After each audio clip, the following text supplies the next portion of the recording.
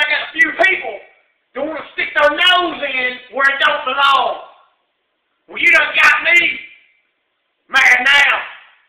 bad boy Billy Roark, you want to come down the ring and get in my match with Stunning Stacy?